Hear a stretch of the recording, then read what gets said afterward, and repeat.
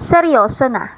Janine Gutierrez napaiyak nang sabihin ng kanyang planong pagpapakasal. Sunod-sunod ang usapan ngayon sa paghihiwalay ng ilang mga celebrity couples.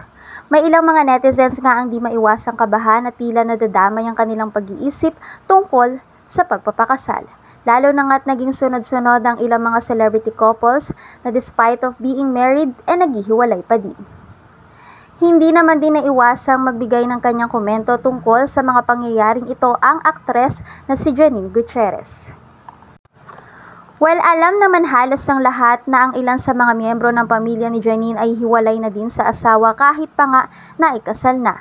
Kabilang na nga dyan mismo ang kanyang mga magulang na sina Miss Lotlot de Leon at Mr. Ramon Monching Gutierrez.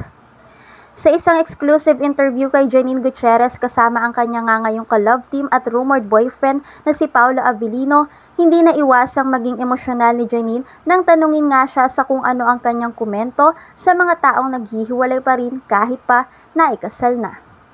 Makikita nga na tila seryoso na ang aktres sa kanyang planong pagpapakasal at sa oras nga daw na maikasal na siya.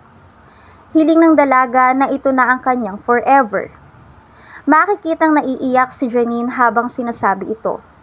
Yung kanya nga kasing plano sa kanyang pagpapakasal ay yung tipong ang lalaking ihaharap niya sa altar ay ang lalaking makakasama niya na panghabang buhay.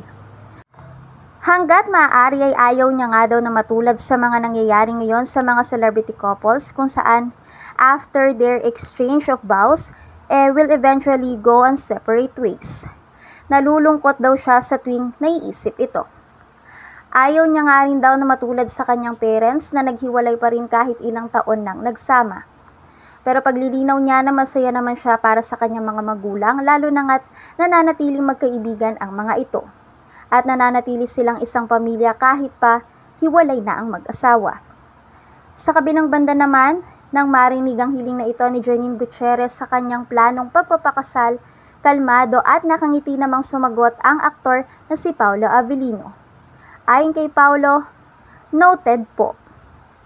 Kinilig naman ang mga fans ng marinig ito. Ayon sa ilan, posible kayang si Paulo Avellino na ang tinutukoy ni Janine Gutierrez na kanya ng forever at pakakasalan. Well, wala pa namang pag-amin ang dalawa kung sila na nga ba talaga. Pero kung pagbabasihan ang mga sagutan nila sa isa't isa at yung pagiging sweet, eh mukhang sila na nga talaga. Sana lang din daw talaga kung sino man ang lalaking pakakasalan ni Janine Gutierrez ay eh matupad ang hiling nito na ito na ang kanyang forever.